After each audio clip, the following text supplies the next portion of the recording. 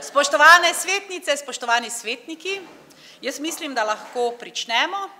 Uh, gospod uh, Fras Kamil se nam bo pridružil nekoliko minut kasneje, ostali, ki smo danes tu, uh, ki so povedali, da so bodo prisotni, pa ste tukaj, tako da predlagam, da lahko začnemo za šesto redno sejo občinskega sveta občine Selnica ob Dravi. Preden pa začnemo sejo, pa bi prosila, ker se je v času med peto in šesto redno sejo občinskega sveta občine Selnica ob Dravi od nas poslovil naš kolega, svetnik gospod Slobodan Tatalovič in prosim, da se mu poklonimo s minuto molka. Thank you.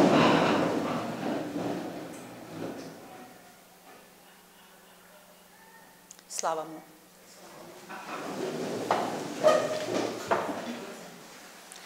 Pričenjamo s šesto redno sejo občinskega sveta občine Selnica ob Dravi.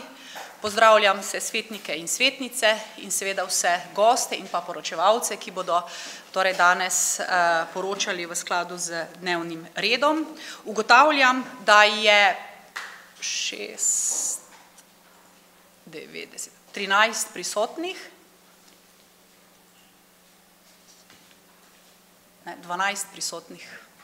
12 prisotnih, kar pomeni, da smo sklepčni in da lahko zakonito sklepamo. Prehajam k drugi točki, to je eh, pregled dnevnega oziroma sprejem dnevnega reda. Dnevni red današnje seje se glasi, Potrjevali bomo skrajšan zapis pete redne seje in prve izredne seje, na to bom podala informacije, kaj se je dogajalo v preteklem mesecu v naši občini, na to bodo informacije lahko podali člani oziroma predsedniki vaških odborov, na to sledi točka imeni, imenovanja in volitve, kjer bomo imenovali nadomestnega člana oziroma članico občinskega sveta občine Silnica ob Dravi, na to se bomo seznanili s trendi varnostnih pojavov v letu 2022 na območju naše občine, na to bomo obravnavali poročilo o delu skupne občinske uprave Maribor za občino Selnica ob Dravi za leto 2022, na to obravnavali letno poročilo Mariborske knjižnice za leto 2022, na to letno poročilo Svetovalnega centra za otroke, mladostnike in starše Maribor za leto 2022. Pod točko 11 bomo obravnavali elaborat o oblikovanju cen izvajanja storitev obvezne občinske gospodarske službe, ravnanja s komunalnimi odpadki za leto 2022. Na to bomo obravnavali obravnavali sklep o uskladitvi ekonomske cene v vzgojno-izobraževalnem zavodu Vrtec Kobanček pri osnovni šoli Selnica ob Dravi. Pod točko 13 bomo obravnavali odlok o razveljavitvi dela odloka o občinskem prostorskem načrtu občine Selnica ob Dravi, ki se nanaša na 105. člen odloka. Na to bomo obravnavali odlok o prenehanju veljavnosti odloka o ustanovitvi režijskega obrata občine Selnica ob Dravi, na to odlok o spremembah in dopolnitvah odloka o organizaciji občinske uprave.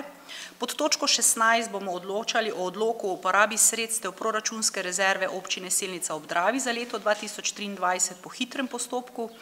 Na to bomo po točko 17 obravnavali sporazum o sodelovanju in vzpostavitvi prijateljskih odnosov med mestno občino Petrinja in občino Selnica ob Dravi in na to sledi še zadnja točka vprašanja in pobude svetnikov. Dajem dnevni red v razpravo, želi kdo razpravljati, kaj dodati, spremeniti. Med nami so že vsi poročevalci, tako da predlagam, da gremo tako po vrsti, kot ste. Upam, da se nam bo tudi eh, pridružil še eh, gospod z eh, policijske postaje Ruše, ki bo predstavil trende varnostnih pojavov. Vkolikor ne, zaključujem razpravo in dajem predlog dnevnega reda na glasovanje. Prosim, da s dvigom rok potrdite tako soglasno sprejeto. In prehajamo na tretjo točko, to je potrditev skrajšanega zapisa pete redne seje in prve eh, izredne seje, ki smo jo eh, torej imeli. Medtem bom podala torej še informacijo o eh, realizaciji sklepov z prejšnje, torej pete redne seje. Torej takrat smo se seznanili stališči Komisije za priznanje in nagrade in seveda vsem prejemnikom lepo pozdravljeni. Vsem prejemnikom, torej jih tudi na svečano, ob svečani seji podelili. Na to smo potrdili cen eh, eh, v skladu z elaboratom oblikovanju cen storitev oskrbe s pitno vodo, prav tako elaborat oblikovanju cen izvajanja storitev obvezne gospodarske javne službe, torej to informacijo smo objavili tudi v novicah, tako kot smo povedali in ki je začela seveda s 1. junijem veljati. Na to smo se seznanili z letnim poročilom osnovne šole Selnica ob Dravi in pa letnim poročilom javnega zavoda Center Arnold Tovornik Silnica ob Dravi. Prav tako smo sprejeli soglasje k določitvi redne delovne uspešnosti, ravnateljice in pa direktorja eh, Hrama kulture, kar se je tudi že realiziralo. Na to smo se seznanili z letnim poročilom zdravstvenega doma in podali soglasje k izplačilo redne delovne uspešnosti za direktorje v zdravstvenem domu. Na to smo se seznanili s poročilom o izvedenih ukrepih iz akcijskega načrta lokalnega energetskega koncepta občine in smo to poročilo že posredovali na pristojno ministrstvo in pa sprejeli smo zaključni račun proračuna občine Selnica ob Dravi in seveda s tem iz, imeli torej izvedene tudi vse zakonodajne obveznosti, ki so vezane na zaključek, finančni zaključek eh, občinskega proračuna v letu 2022.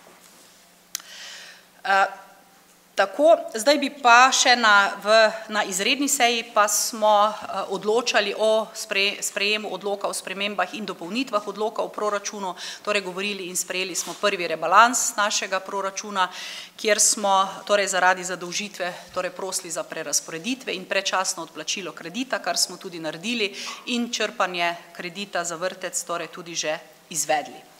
Tako da zdaj pa dajem oba zapisnika še na, razpravo, želi kdo kaj spremeniti, dodati. Vkolikor ne, zaključujem razpravo in dajem torej zapisnik eh, pete redne seje in prve izredne seje občinskega sveta občine Selnica ob Dravi na glasovanje. Prosim, da z dvigom lističev predlagana zapisnika potrdite. Soglasno sprijeto, torej še vedno 12 prisotnih. In sedaj torej prehajamo na informacije o tem, kaj se je dogajalo v naši občini v preteklem mesecu. Naše delo, delo občinske uprave in seveda tudi življenje in delo naših občanov je zaznamovalo predvsem ujma oziroma več vremenskih neuri, ki so se pojavljale v mesecu maju in ki so naredile zelo veliko škodo, največ v Habidovem jarku in pa seveda v Lipoževem. Občinska uprava se je skupaj z gasilci in drugimi domačini, ki so na tem območju pomagali, potrudila in torej interventno sanirala vse, kar se je začasno dalo, zato da so bile ceste prevozne, da ni bilo več velike nevarnosti. Na to smo pa takoj po neurju pristopili tudi k sanaciji posameznih torej odsekov cest in pa hudournikov, kajti ne glede na velike finančni zalogaj, ki to pomeni za našo občino, smo bili mnenja, da je bolje takoj sanirati, kajti še le smo meseca maja in še ena ali dve taki ujmi in nam bi odneslo kar velik del ceste, šlo je za dolžino, torej več kot dveh kilometrov in zato smo morali to takoj sanirati. Konec meseca maja smo imeli slavnostno sejo in seveda z veseljem podelili priznanja in eh, torej tudi imenovali našo častno občanko, gospod Antonijo Majster in vsem torej njej in seveda vsem prejemnikom priznan še enkrat čestitam. Začeli smo tudi akcijo Podari dih, torej to je akcija, kjer je, kot veste, selnica stopa na pot trajnostnega razvoja in si je zadala torej biti najbolj zdrava in okolju prijazna občina. V ta namen torej gradimo tudi poseben vrtec, lesen vrtec, prvi takšen vrtec v Sloveniji, ki je iz slovenskega lesa, v Sloveniji izraslega in pa posekanega, posušenega lesa in smo torej prvi takšen javni objekt v Sloveniji. In s tem akcijo Podari dih, torej želimo tudi druge v Sloveniji navdušiti nad tem, da je skrb za okolje, torej tisto, kar bo ohranilo človeštvo in pa našo družbo. Na to smo devetošolci so že zaključili svoje obveznosti v šoli in smo jim, sem jim podelila torej petice, kjer jih kot občinska uprava oziroma občina podeljujemo in s tem nekako izkazujemo spoštovanje torej do njihovega dela in pa priznanje, da se torej vsa leta trudijo. Posebej moram pa danes izpostaviti še problematiko pitne vode in pa posegov na svetem duhu na Ostrem vrhu.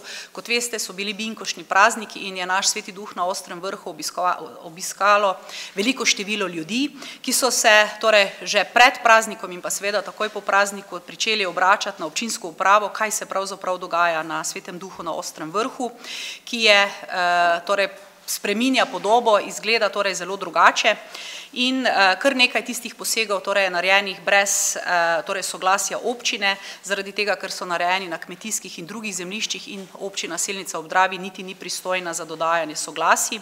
Mi smo zaradi posegov torej že intervenirali in uh, se obrnili na inšpekcijske službe, ki pa nekatere prestojnosti prelagajo na druge, torej nekatere pa torej menijo, da z nekaj del, del teh posegov ni pravzaprav nič narobe. Druga velika težava, ki se pa na duhu pojavlja, pa je onesnaženje pitne vode. Kot veste, smo v preteklem mandatu torej več kot 150 tisoč evrov vložili v sanacijo eh, vira pitne vode na Svetem duhu na Ostrem vrhu in zaradi posegov, ki se ta trenutek dogajajo, torej brez soglasja občine, se je ta voda ponovno onesnažila in je ta trenutek oziroma že nekaj časa nepitna oziroma je v tistem delu v večjem zajetju, torej ne uporabljamo. Sama sreča je, da je ta trenutek dovolj deževja in je manjši vir pitne vode še zadostuje v kmalu, torej sedaj, po, ki bo nastopila suša, pa bo postala težava s pitno vodo in bomo morali seveda zagotavljati prevoze pitne vode. Skupaj z Mariborskim vodovodom smo naslovili problematiko torej na vse pristojne inšpekcijske službe na ministrstvu, ministrstvu, tako da je, so zadeve v postopku. Torej moramo pa povedati tudi, da je financiranje torej tega prevoza pitne vode izredno zahtevno in vkolikor bo torej ta vir ne bo možno delovati, bomo morali velika finančna sredstva, ki bi se drugače lahko uporabila za druge investicije na Svetem duhu na Ostrem vrhu, ponovno vložiti v sanacijo pitne vode, tako kot sem povedala že na zboru eh, občanov. Tako toliko o aktivnostih oziroma dogajanju v občini v prejšnjem eh, mesecu. Zdaj so pa torej z nami tudi eh, predstavniki torej Vaškega odbora Slemen in pa Vaškega odbora Sveti duh na Ostrem vrhu, pa bi najprej prosla Vaški odbor Slemen, gospoda Urbasa, če želi, za besedo, če želi kakšne informacije podati. Spoštovana eh, županja, svetnice, svetniki, člani občinske uprave in ostali gostje, en topel pozdrav iz spodnjega slemena, zgornjega slemena del in velikega voča. E, na seji občinskega sveta smo kot predstavniki vaškega odbora prvič v tem mandatu in bi vas prosil, da ne boste mislili, da v tem času vaški odbor kljub temu ni deloval. Vsi člani vaškega odbora, ki so, so zelo aktivni na svojem področju in so dnevno v kontaktu s prebivalstvom in dnevno po potrebi tudi urgirajo in delujejo v svojih pristojnostih. Zadali smo si nalogo, da v obdobju tega mandata na območju našega vaškega odbora povzdignemo nekako kvaliteto življenja, da napravimo ta del prijaznejši, za prebivalstvo, prijaznejši tudi za turiste in da nekako poglavitni del je, da se nekje leta 2026 zadamo nalogo, da kandidiramo za najlepše urejen kraj v Sloveniji. Težka je to naloga pred nami, ampak zadali smo se jo in poskusili bomo tudi z vašo pomočjo to uresničiti. Da ne bi pa sedaj našteval vse, kaj imamo v planu, ker še imamo več sej in bomo lahko tudi še skozi te spoznali vse, bi se zdaj v prvi vrsti zahvalil rad županji, občinski upravi, predvsem pa izvajalcem del, ki so nas nam tako lepo uredili zopet cesto, ki je bila popolnoma uničena v tem hudem neurju, v tako kratkem času, da lahko zopet normalno vozimo v našo območje, brez vseh problemov in brez skrbi, da bo kdorkoli padel v jarek. Zato še enkrat iskrena hvala za to in koliko se še bo to kdajkoli zgodilo, naprošam, da bi tudi v drugih delih občine bilo tako, da bo tako hitro to oskrbljeno. Istočasno bi pa apeliral tudi na občino, da s pomočjo vaškega odbora spodbudi krajane na območju Slemena in tudi na ostalih območjih občine, da skrbijo za čistočo vodotokov, zlasti lasniki gozdov, ki so v neposredno vodotokih, da ne puščajo vejevja, odpadnega drevja in vse kakršne možne svinjarije v teh vodotokih. To so večina hudourniški vodotoki Posledice so katastrofalne, ko pridejo padavine. Zakaj so do teh padavin prišlo, je to narava sama ve dobro. Istočasno pa bi se morda temu neurju lahko izognili, vkolikor ne bi z leta v leto občine prelagale pogodbo z letalskim centrom, da bi škropil proti toči v teh nevihtnih oblakih. Tako se pa že desetletja ponavlja eno in ista stvar in to je podpis pogodbe, ko so že nevihte mimo. Takrat je pogodbo prepozno podpisati. Takrat so že narejeni vsi stroški, vrtoglavi stroški so in mislim, da bi bilo dobro, da se v prihodnih letih apelira, da se pogodbe podpišejo že v mesecu marcu, da se lahko že v aprilu, ko nastajajo prve nevihte, ta obramba tudi vrši. Prav tako bi apeliral na svoje kolege iz vaškega odbora Gradišče, naj vložijo vso energijo in vso moč in vpliv, ki ga imajo v svojem kraju, da zopet spodbudijo osnovno šolo k življenju, da ne bo se zgodil dan, da bodo šolo morali zapreti, ker ne bo otrok.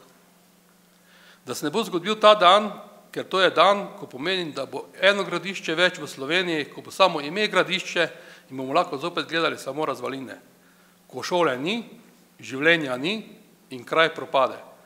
To se je nam zgodilo na Sljemenu in mi še dandanes kraja ne moremo spraviti nazaj na noge. Trudimo se in upam, da nam bo uspelo. Njim, če se jim to zgodi, ne bo uspelo nikdar. Toliko bi jaz imel in najlepša hvala, ste prisluhnili. Najlepša hvala za informacije. Prosim še vaški odbor Sveti duh na Ostrem vrhu, gospod Pušnik, predsednik. Lep dober dan, hvala za besedo.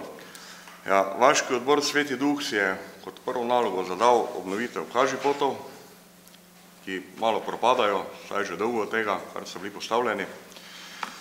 In popis materiala smo naredili, material je nabavljen in upam, da bomo začeli čim prej z akcijo obnavljanja, ki je, ko smo rekli, da bomo to naredili v lastni režiji. No, pred Binkošti smo tudi s pomočjo pohodniškega društva tudi pokosili travnik pod župniščem in pod cerkvijo, no in tudi s pomočjo našega društva bomo obnovili Kažipote.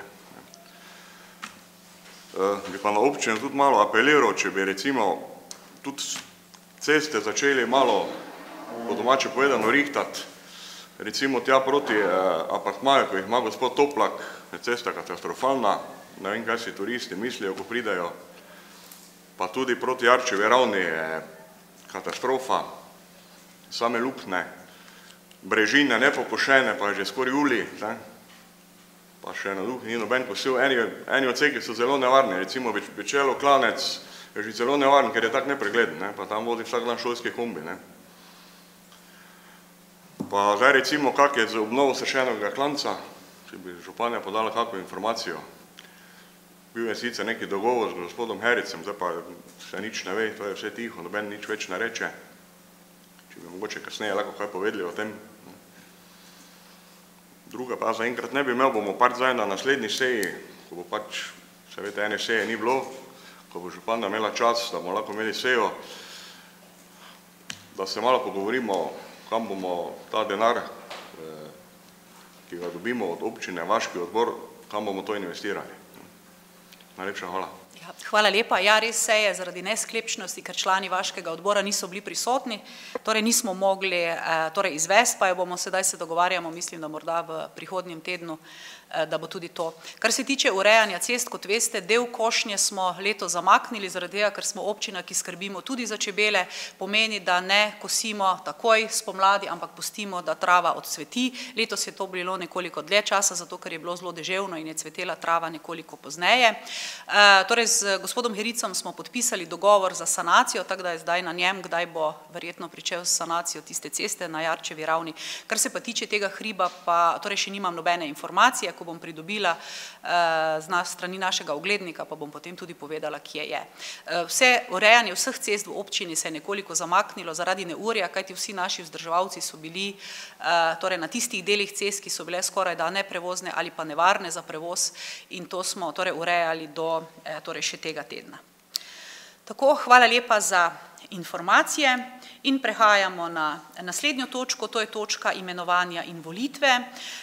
Imenovati moramo nadomestnega člana oziroma članico občinskega sveta občine Selnica ob Dravi, pa bi prosila predsednika komisije za mandatna vprašanja, volitve in imenovanja, gospoda Vališerja, da nam poda obrazložitev. Hvala za besedo. Ugotovitveni sklep o prenehanju mandata člana občinskega sveta občine Selnica ob Dravi in prehodu mandata na naslednjo članico. Predsednik je obrazložil ugotovitveni sklep o prenehanju mandata člana občinskega sveta občine Selnica ob Dravi in prehodu mandata na naslednjo članico. Zaradi smrti svetnika Slobodana Tataloviča je morala občinska volilna komisija sprejeti ugotovitveni sklep o prehodu mandata v občinske svetu na naslednjo kandidatko z liste za razvoj podeželja, Polonco Sivec. Polonca Sivec je dne osmega šestega dva tisoč triindvajset tudi podala izjavo, v katero soglaša in prejema funkcijo svetnice v občinskem svetu občine Selnica ob Dravi. Vsled navedenega je komisija sprejela naslednji sklep. Komisija za mandatna vprašanja, volitve in imenovanja predlaga občinskemu svetu občine Selnica ob Dravi, da sprejme ugotovitveni sklep o prenehanju mandata članov občinskega sveta občine Selnica ob Dravi in o prehodu mandata na naslednjo kandidatko iz liste za razvoj podeželja za članico občinskega sveta občine Selnica ob Dravi. Bi to sprejeli zdaj ali še? Tako, hvala lepa za obrazložitev, odpiram razpravo, želi kdo razpravljati? Statutarno-pravna komisija je obravnavala, prosim za stališče.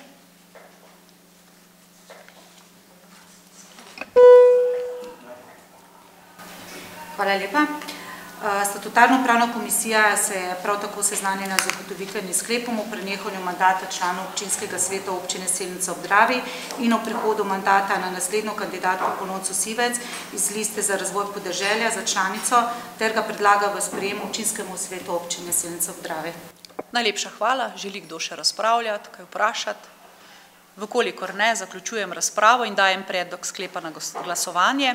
Občinski svet občine Selnica ob Dravi sprejme ugotovitveni sklep o prenehanju mandata članov občinskega sveta občine Selnica ob Dravi in o prehodu mandata na naslednjo kandidatko gospo Polonco Sivec iz liste za razvoj podeželja za članico občinskega sveta občine Selnica ob Dravi. Prosim, da z dvigom rok predlagan sklep potrdite. Trinajst prisotnih, trinajst za, predlog je sprejet in med nami torej toplo pozdravljam gospo Polonco Sivec in vas vabim k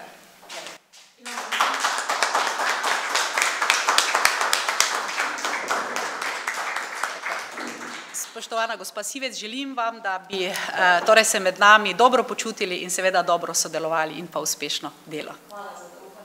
Tako, hvala torej tudi vam. Prehajamo na naslednjo točko, to je imenovanje nadomestnega člana odbora za gospodarstvo, prosim gospoda Vališerja, predsednika komisije za mandatna vprašanja, volitve in imenovanja, da nam poda obrazložitev. Ker je dosedanjemu svetniku Slobodanu Tataloviču prenehalo članstvo v odboru za gospodarstvo, komisija predlaga, da se v ta odbor imenuje Polonca Sivec in predlaga sprejetje naslednjega sklepa. Komisija za mandatna vprašanja, volitve in imenovanja predlaga občinskemu svetu občine Selnica ob Dravi, da imenuje v odbor za gospodarstvo članico Polonco Sivec iz liste za razvoj podeželja. Hvala lepa. Odpiram razpravo, želi kdo razpravljati? V kolikor, v kolikor ne, prosim še statutarno-pravno komisijo, da poda svoje stališče. Statutarno-pravna komisija se je seznanila s sklepom o imenovanju nadomestne članice odbora za gospodarstvo, in sicer se imenuje Polonco Sivec iz liste za razvoj podeželja ter ga predlaga sprejem občinskemu svetu občine Selnica ob Dravi. Najlepša hvala. Dajem predlog sklepa na glasovanje. Predlog sklepa se glasi. Občinski svet občine Selnica ob Dravi sprejme sklep o imenovanju nadomestne članice odbora za gospodarstvo, gospod Polonce Sivec iz liste za razvoj podeželja. Prosim, da z dvigom rok predlagan sklep potrdite. Tako sedaj je pa 14 prisotnih, 13 za. Najlepša hvala in s tem seveda tudi dobrodošli, gospod Polonca, v odboru za gospodarstvo. Tako in prehajamo na naslednjo točko, to je točka sedem, predstavitev trendov varnostnih pojavov v letu 2022 na območju občine Selnica ob Dravi, pa prosim gospoda poročevalca, predstavnika policijske postaje Ruše, da nam na kratko predstavi trende. Hvala lepa.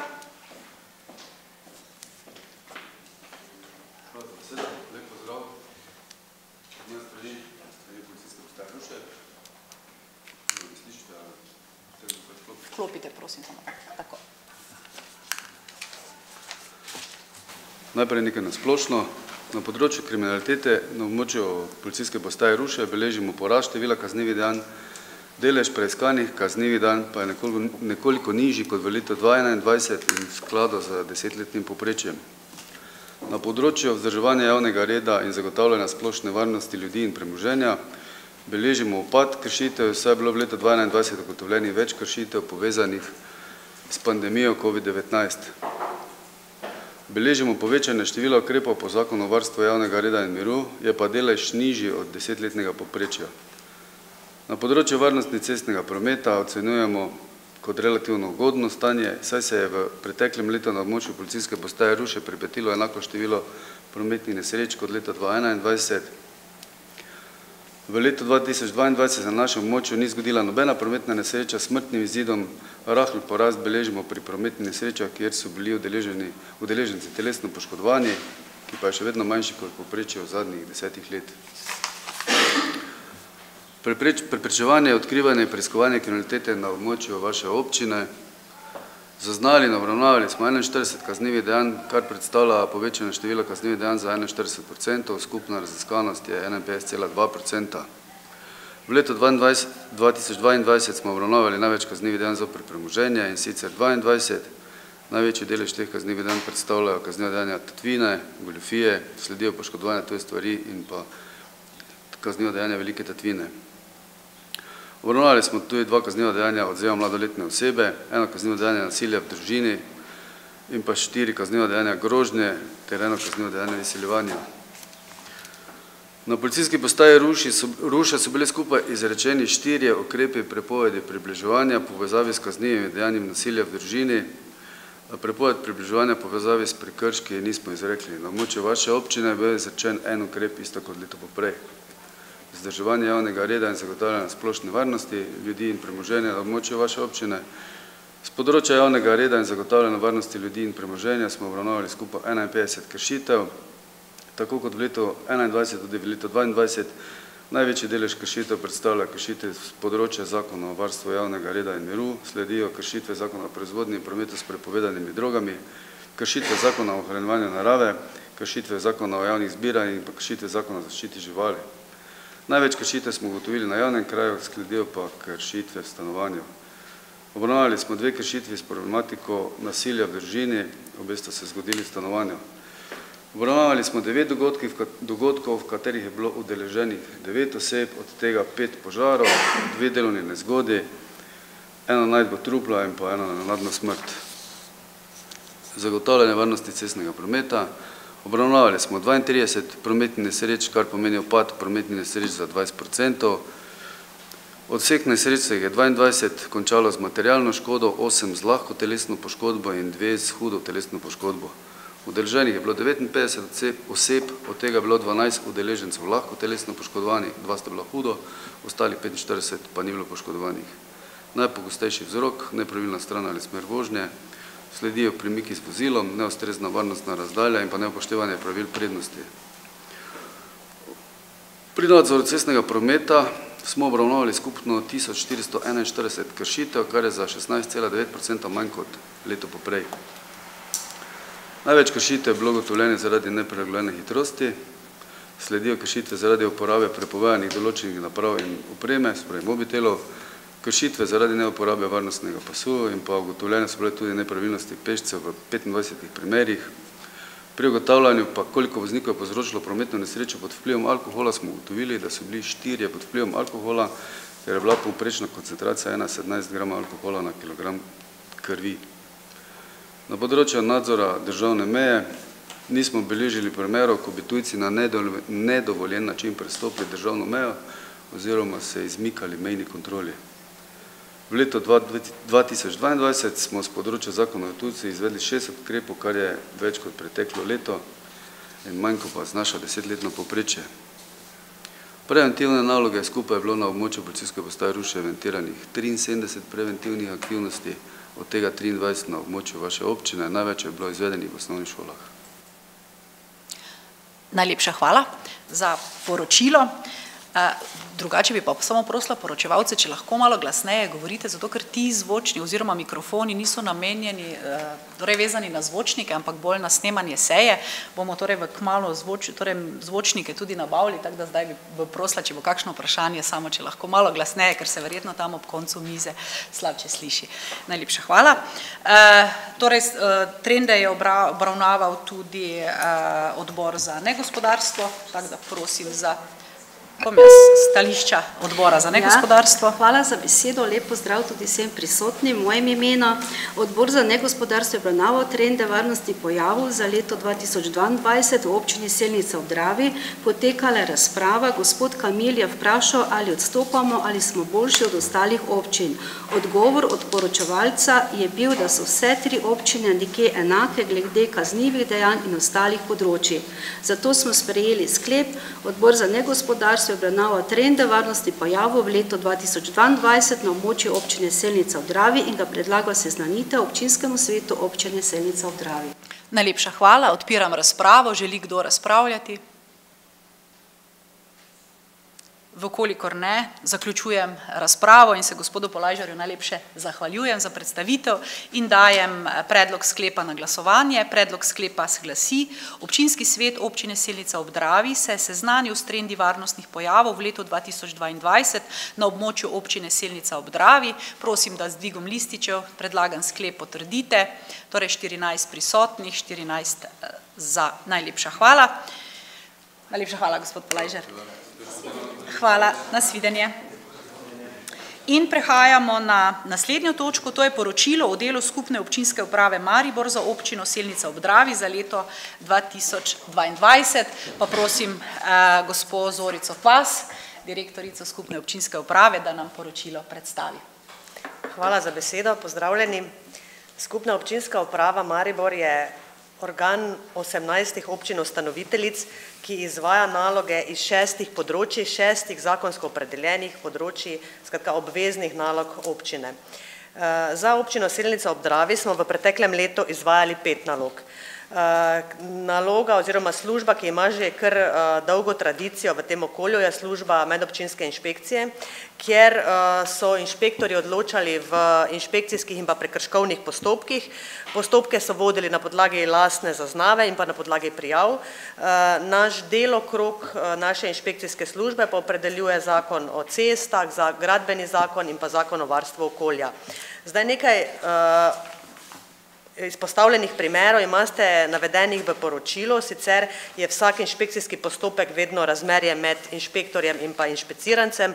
Številčno je bilo teh postopkov približno enako kot v preteklem obdobju, so pa vsi na neki način zaključeni oziroma so proti zaključku, skratka, ki so zaključeni pa so z izdano upravno ali prekrškovno odločbo. Tako pri medobčinski inšpekciji kot v medobčinskem redarstvu pa tudi pri ostalih službah je seveda zelo pomembno sodelovanje naših služb z občinsko upravo, kajti mi smo nekako del občinske uprave vseh teh osemnajstih občin. In v službi medobčinskega redarstva, kjer je bistven del delokroga predvsem nadzor nad mirujočim prometom in pa zaščita, bom rekla, posebej ranljivih udeležencev v prometu, smo se nekako na srečanju županov dogovorili, da tega sicer še nismo izvali v preteklem letu, ampak da se pozornost in ukrepi usmerijo tudi v posebne oblike nadzora, kot so izvajanje tehtanja vozil na občinskih cestah in pa na cestah znotraj naselij in pa sekcijsko merjenje hitrosti. To seveda odvisnosti od občine do občine, to je, bom rekla, neka posebna, posebna dodatna storitev, ki je pa v občini Selnica ob Dravi v preteklem letu še nismo izvajali. V letošnjem letu pa smo začeli z nadzorom tehtanja tovornih vozil, kjer je že prometna signalizacija ustrezno določena. Kot tretji sklop nalog, ki jih izvajamo za občino Selnica ob Dravi, je skupna notranja revizijska služba. Tudi to je naloga, ki jo občine so dolžne izvajati. Dodana vrednost te službe oziroma rezultata delovanja te službe je neka primerjava med vsemi občinami ustanoviteljicami, kajti vse občine, ki imajo proračun več kot dva milijona, so dolžne vsako leto zagotoviti revizijo zaključnega računa oziroma določenih postavk. V preteklem letu smo za občino Selnica ob Dravi izvajali revizijo javnih naročil. To poteka na način, da izberemo en do dva sklopa za vse občine in potem lahko primerjamo ugotovitve. Nobenih nepravilnosti ni bilo ugotovljenih, tako da lahko tudi tu v tem segmentu zelo pohvalim občinsko upravo. So pa seveda dana določena priporočila za izboljšanje poslovanja, predvsem v smeri nekega administrativnega vodenja postopkov in pač priporočila kot zgled neke dobre prakse, da se lahko tega poslužijo tudi v ostalih ustanoviteljicah. Ni to nič posebnega konkretno za občino Selnica ob Dravi, ampak to je pač naš način delovanja. Kot naslednja služba je skupna služba urejanja prostora. To je služba, ki ima po mojem mnenju največji potencial za rast, to je v tej službi se občinski urbanisti ukvarjajo s področjem prostorskega planiranja. To je področje, ki je, bom rekla, z vidika ali pa na nekega delokroga občine najbolj zahtevno, zato imamo tudi največji problem s pridobivanjem kadra. Tu dejansko so zaposleni arhitekti, ki na neki način jim ni ravno interesantna služba v javni upravi, ampak naloga teh arhitektov, ki se kasneje imenujejo občinski urbanisti, je podaja mnenj v raznoraznih postopkih prostorskih preveritev.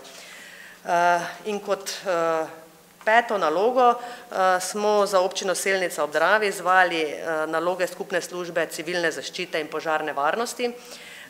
Ta služba pa je nekako vmesni člen med regijsko izpostavo civilne zaščite, med gasilskimi društvi in skratka naš delokrog je neko normativno pregled nad samimi ocenami tveganja, elaborati, načrti in tukaj v tej službi dejansko je tudi ta dodana vrednost se zelo pokazala ob teh zadnjih neurjih, kjer se lahko nekako skupnimi močmi potem pristopilo k temu delu. Seveda vsaka občina posamezno zadolžena za izvajanje ukrepov na njenem teritoriju, ampak ta potem drug del ali pa spet neka dobra praksa iz ostalih okolij pa potem se lahko prenese tudi v sosednje občine. Zdaj namen vzpostavitve teh skupnih občinskih uprav je nekako kumuliranje znanja, ker seveda ni možno, da bi vsaka izmed občin imela za to zaposlene strokovnjake za vsako posamezno področje, ker to ne bi bilo ekonomično in zato država to tudi zelo finančno stimulira. V ta namen smo na državo poslali zahtevke za sofinanciranje delovanja naših služb v preteklem obdobju in glede na zastavljen način financiranja je občina Selnica ob Dravi bila upravičena do petdesetprocentnega povrnitve stroškov, ki so nastali seveda v preteklem obdobju. Najlepša hvala. Torej preden dam še besedo odborom, bi povedala, da smo tudi v občinski upravi izredno zadovoljni z delovanjem skupne občinske uprave, torej tako v smislu dela, znanja in pomoči kot tudi finančno. Mislim, da je bilo približno v okrog petindvajset tisoč evrov stroškov z izvajanjem vseh nalog, z vso pomočjo in od tega potem država petdeset procentov sofinancira, kar je torej veliko in nam seveda to zelo veliko pomeni. Zdaj pa poročilo je obravnavalo torej tako Odbor za gospodarstvo kot Odbor za negospodarstvo, pa bi prosila najprej Odbor za gospodarstvo za stališče. Hvala za besedo, lep pozdrav tudi v mojem imenu. Odbor za gospodarstvo je obravnaval poročilo o delu skupne občinske uprave Maribor za občino Selnica ob Dravi za leto 2022 in ga predlaga seznanitev občinskemu svetu občine Selnica ob Dravi. Hvala lepa. Prosim še za stališče odbora za negospodarstvo. Tudi odbor za negospodarstvo je obravnaval eh, poročilo eh, o delu skupne občinske prave Maribor. Potekala je tudi eh, burna razprava. Prisotna je najbolj zanimalo tehtanje vozil, ker s tem se še niso seznanili, pa je bilo nam tudi razloženo z gospe Zorice kvas, eh, da eh, imajo zunanje izvajalce za ostale občine, v naši občini pa je urejeno ustrezno s prometno signalizacijo. Zato je odbor za negospodarstvo sprejel naslednji sklep.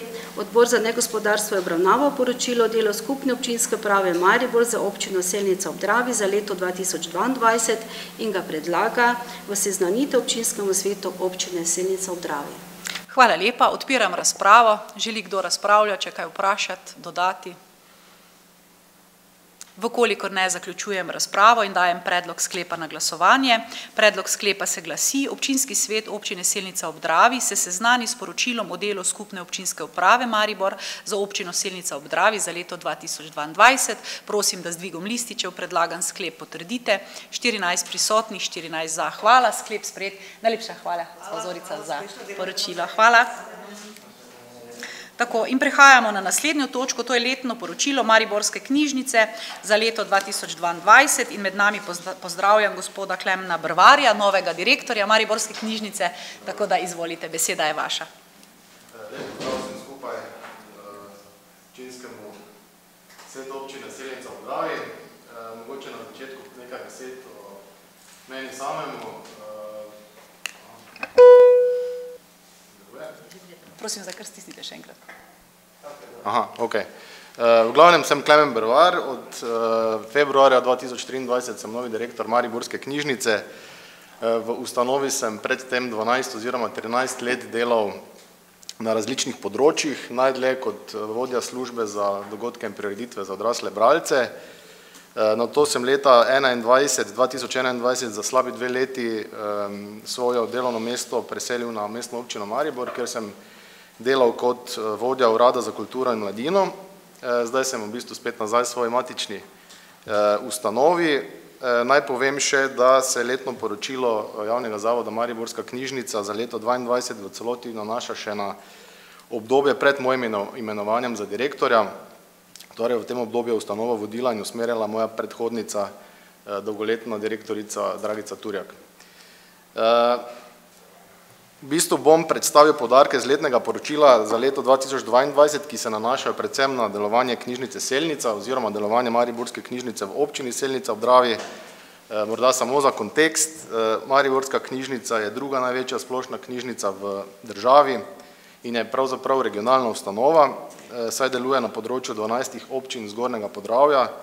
Da dobite sliko, je to recimo od Lovrenca oziroma Selnice in do Dupleka, pa na drugi strani od Čentilja Eh, recimo Dorač. Eh, skupno pokriva več kot 180 tisoč eh, ljudi oziroma tem ljudem nudi javno knjižnično službo. Mariborska knjižnica je tudi osrednja območna knjižnica, kar pomeni, da upravlja spekter posebnih nalog, v katere spada tudi knjižnica Lenart v Slovenskih goricah in pa Slovenska Bistrica. Tako da je ta regija še nekoliko razširjena. Eh, med ustanoviteljice Mariborske knjižnice spada šest občin, med katerimi največjo finančno breme pade na mestno občino Maribor, eh, sledi pa še šest občin, s katerimi so sklenjene partnerske pogodbe o zagotavljanju knjižnične javne službe, med katere spada tudi Selnica ob Dravi. Eh, financiranje knjižnične javne službe je zakonsko določena domena oziroma obveza lokalnih skupnosti. Zdaj pa k poudarkom letnega poročila vezanim na Selnico, ki sem jih nekako rangiral po ključnih področjih, ki so vezana na obstoječo strategijo eh, Mariborske knjižnice, torej naš osnovni strateški dokument. Eh, leto 2022 je bilo za našo ustanovo leto odpiranja novih enot in seljenja enot.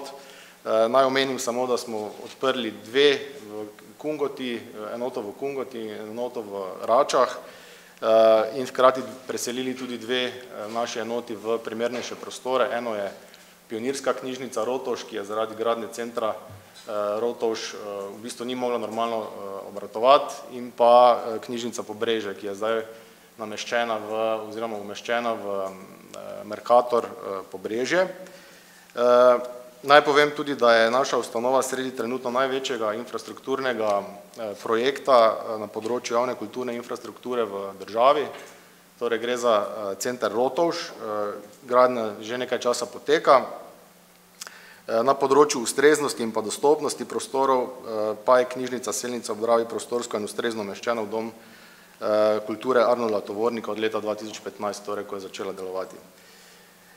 Če se premaknem potem na področje kadrov, torej v letu dva tisoč dvaindvajset je zaradi dodatnih selitvenih naporov, ki sem jih prej omenil in so zahtevali nemalo kadrovskih in finančnih virov ter več dolgotrajnih bolniških odsotnosti, kar je tudi značilnost našega, naše zasedbe, je knjižnična mreža, del katere je knjižnica Selnica ob Dravi, delovala na skrajnem robu zmogljivosti in je potem potrebovala pomoč iz internih služb oziroma drugih oddelkov, tako da je bilo tudi moteno torej delo teh oddelkov.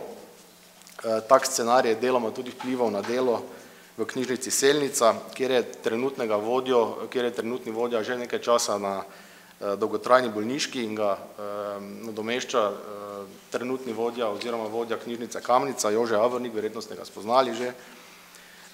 Si pa prizadevamo, da bi enota v Selnici imela čim bolj konstantno kadrovsko zasedbo, je pa treba razumeti tudi, da so nadomeščanja v času dopustov in pa bolniških odsotnosti del našega, del naše organizacije dela. Potem bi se premaknil k knjižnični zbirki, ki je temeljno orodje in pa izhodišče izpolnjevanja poslanstva naše knjižnice oziroma vsake knjižnice, zato posebno skrbno, zato posebno pozornost namenjamo njeni izgradnji in pa upravljanju.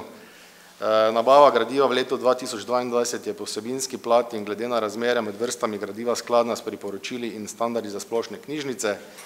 S premišljenim razporejanjem gradiva skrbimo, da so kakovostne vsebine na voljo vseh oddelkih in pa knjižničnih enotah. Bi pa na tem mestu poudaril, da se v mariborski knjižnici že več let soočamo s težavo dolgotrajnega primanjkljaja občinskih sredstev za nabavo knjižničnega gradiva, tudi v primeru občine Selnica, kjer namenjena sredstva dosegajo zgolj tretjino standarda. Doslej smo primanjkljaj trudoma pokrivali iz lastnih sredstev in deloma iz ministrskih sredstev, zaradi selitev pa tudi zaradi vsesplošnega povišanja stroškov in pa rasti cen, recimo cena knjige je narasla na več kot trideset evrov, v primerjavi s petrimi leti je bila okrog dvaindvajset. Več ne moremo zagotavljati torej dotoka novega gradiva na istem nivoju, to pomeni tudi manj vložka v gradiva in s tem manj aktualno zbirko. Potem bi se premaknil k polju storitev v knjižnici, ki so ki so v resnici, kako bi rekel, usmerjene v na štiri področja, štiri temeljna področja, torej spodbujanje bralne pismenosti in bralne kulture, ohranjanje in pa spodbujanje kulturne identitete lokalnih področij, domoznanstvo, vseživljenjsko učenje, multikulturnost in pa socialna vloga knjižnice, tu pa predvsem gre za vključevanje ranljivih skupin in pa uporabnikov s posebnimi potrebami. Z veseljem ugotavljamo, da so kazalniki uporabe knjižničnih storitev že zelo blizu pred covidnim časom, torej tisoč devetnajst in se v letošnjem letu, torej dva tisoč triindvajset, po analizi, ki smo jo naredili do konca meseca maja, torej obetajo že številke nad letom dva tisoč devetnajst. Treba je tudi poudariti, da razen izposoje na dom so vse storitve knjižnice dostopne tudi nečlanom, marsikaj je dostopno tudi preko naše spletne strani, torej z oddaljenim dostopom.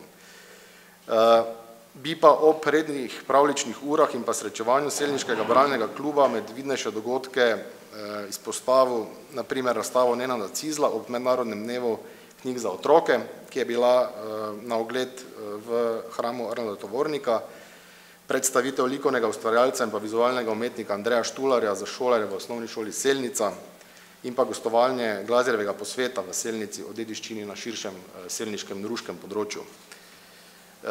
Kot zadnje področje naj omenim še finančno poslovanje za knjižnico Selnica, torej v letu dva tisoč dvaindvajset je mariborska knjižnica v celoti kljub stroškom selitev, številnim podražitvam blaga in storitev in dvigu stroškov poslovala tako, da je realizirala večino zastavljenih ciljev in leto uspešno zaključila.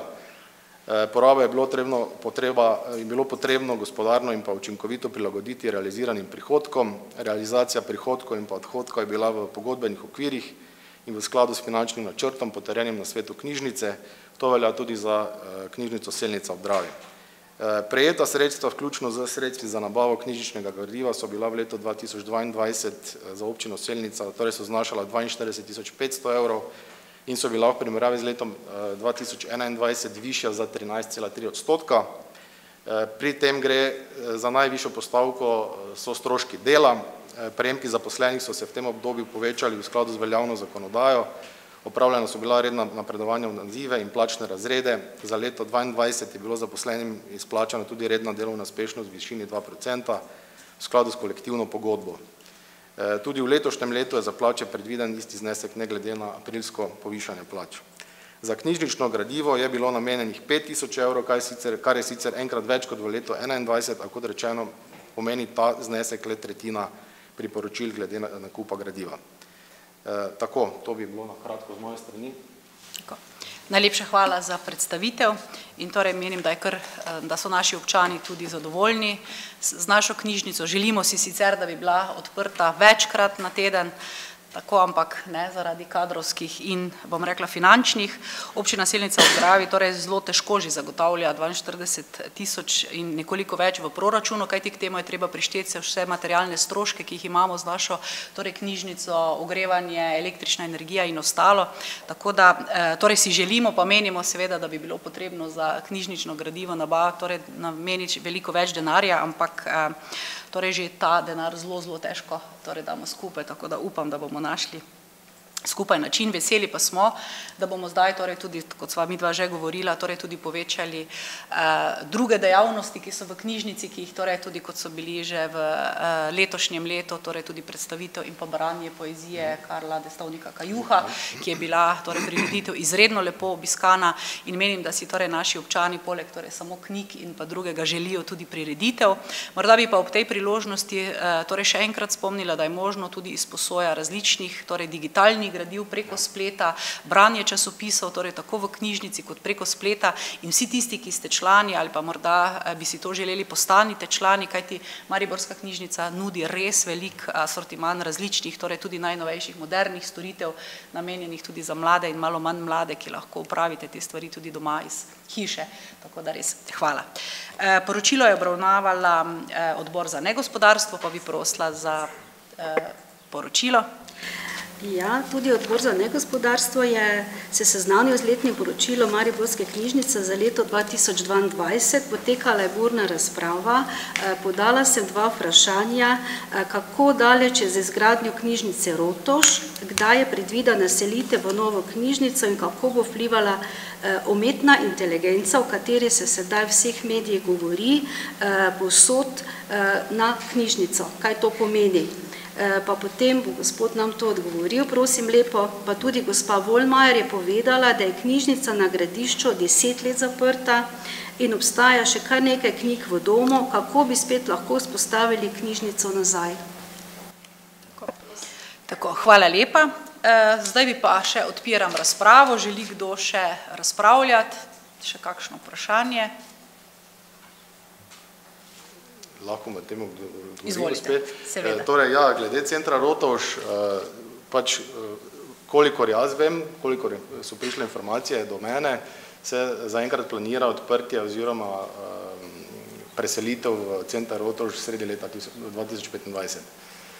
Tako da, kot sem že na odboru povedal, v bistvu redno obiskujemo gradbišče, spremljamo nastajanje, tudi znotraj ustanove se pripravljamo na odprtje, ker le gre za v bistvu, jaz bi rekel, razvojno kvalitativni dvig za vsaj dve oziroma če ne tri stopnje, ki bo omogočil tudi boljši servis in pa boljšo boljše prešenje storitev tudi navzven, torej med vse, med vse občine oziroma vse enote mariborske knjižnice. Kar se tiče pa umetne inteligence, bi pa rekel, da zagotovo je to področje, ki bo vplivalo na vse segmente človeškega ali pa sodobnika, no, tako bom rekel, je pa recimo vloga knjižnic tukaj še malenkost bolj zakomplicirana, namreč sodobna knjižnična paradigma že dlje časa predvideva, da knjižnice več niso samo prostori, kjer se bere oziroma kjer je potrebna tišina in nič drugega, ampak vse bolj postajajo srečevališča in pa družabni in pa družbeni prostori, ne. In ravno skozi to neko družabnost, družbenost se verjamem oziroma, da se bodo knjižnice ohranile, torej ohranile tudi bistvo, to pa je kredibilnost glede informacije.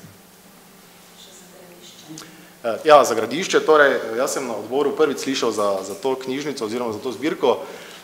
Sam vidim zdaj tri možnosti, kako zadevo reaktualizirati. Ena je preprosto z odpisanim gradivom, ki sem že zadnjič pojasnil, da knjižnica, sodobna splošna knjižnica mora redno odpisovati gradivo, ker se nadomešča z novim. In v bistvu pri tem odpisanem gradivu ne gre za neke zastarele knjige, ampak so to kar še up to date. Deloma bi jih lahko seveda tudi dostavili sem in obnavljali mogoče na leto.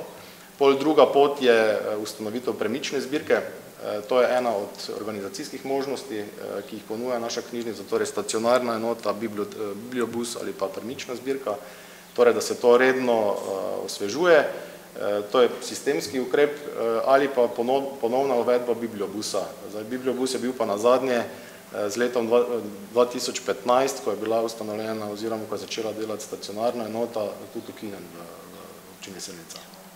Hvala, bomo to tematiko tudi obravnavali na vaškem odboru, pa morda bo tudi vaški odbor podal kakšno idejo pa informacijo o tem, torej na kak način vseeno torej tudi v njihove kraje torej dostavljati oziroma imeti knjige pa aktualno zbirko. Še morda kakšno vprašanje?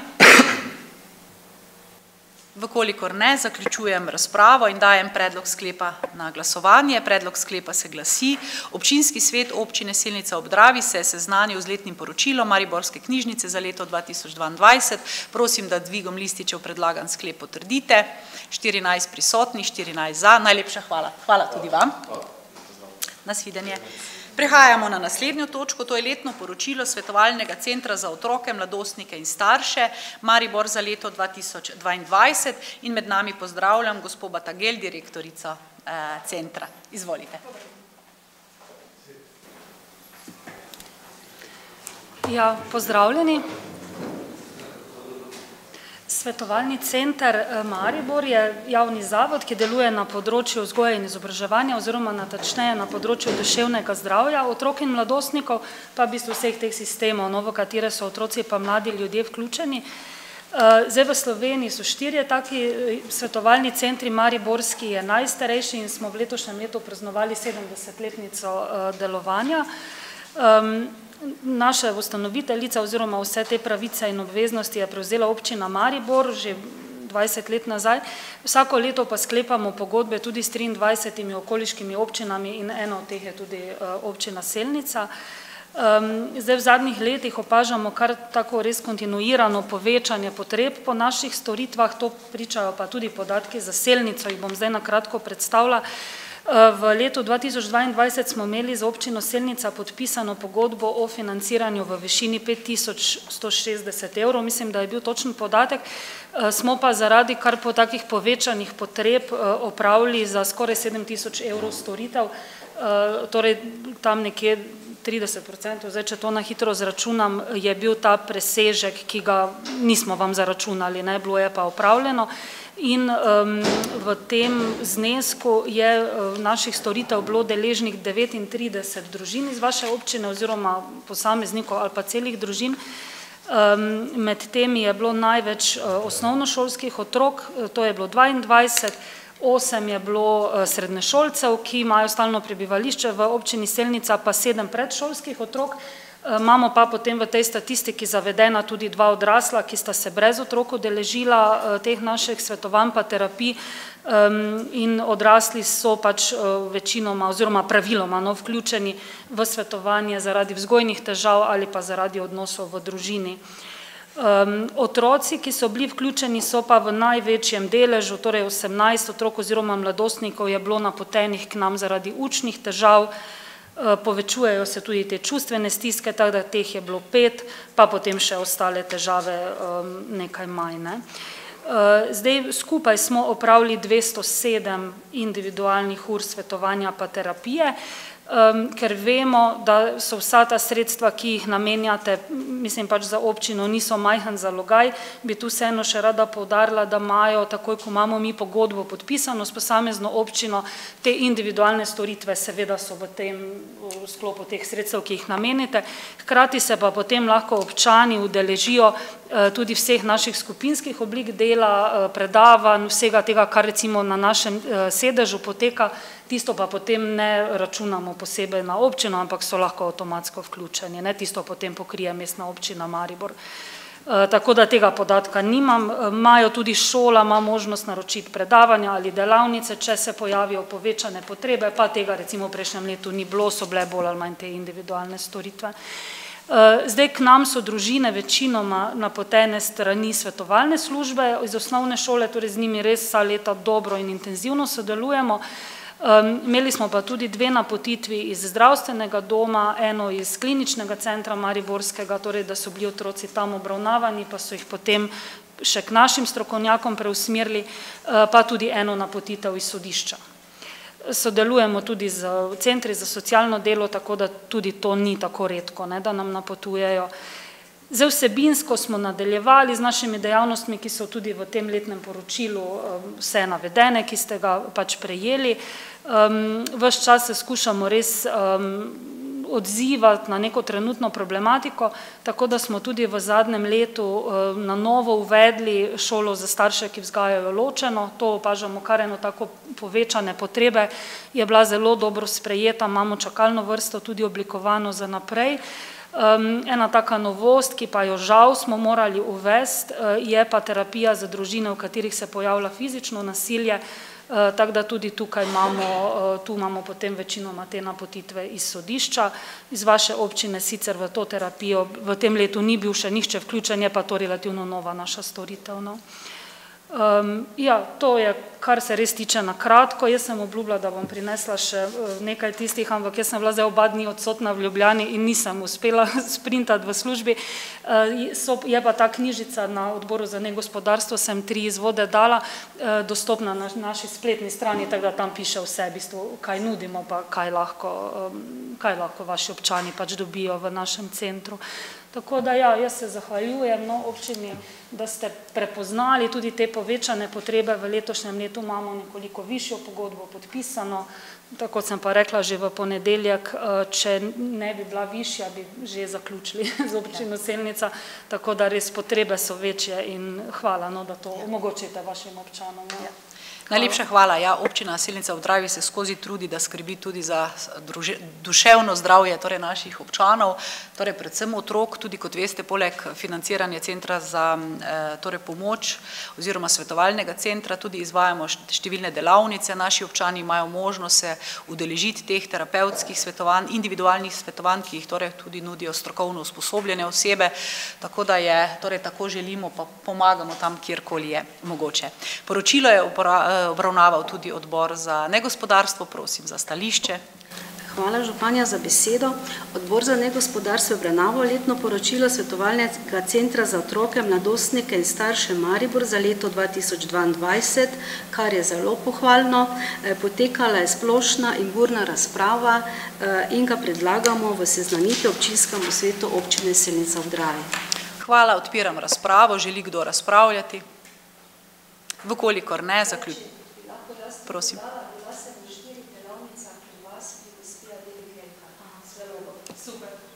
Ja, tako, hvala.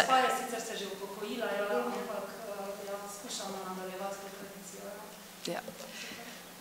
Hvala lepa, torej dajem predlog sklepa na glasovanje, ki predlog sklepa se glasi: Občinski svet Občine Selnica ob Dravi se je seznanil z letnim poročilom svetovalnega centra za otroke, mladostnike in starše Maribor za leto dva tisoč dvaindvajset, prosim, da z dvigom lističev sklep potrdite, štirinajst prisotnih, štirinajst za. Najlepša hvala. In vam tudi, gospa direktorica, najlepša hvala. Pa uspešno delo naprej, nasvidenje.